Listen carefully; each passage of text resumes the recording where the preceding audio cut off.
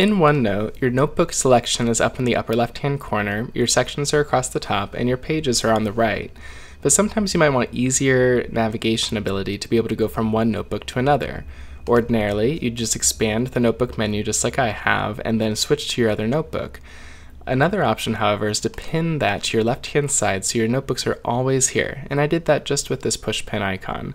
Now, notice when you do that, the notebooks are there, but their sections are also there, but we, we still have our sections across the top here. So rather than having duplicated section, there's another option we can do, which is to use our View menu up at the top, and then choose Tabs Layout, and then choose vertical tabs instead of horizontal tabs. And keep an eye on the page section on the right too when I do this. So I'm switching from horizontal to vertical. Now my notebooks and sections are still on the left, but I don't have duplicated sections across the top, and my pages are now on the left hand side.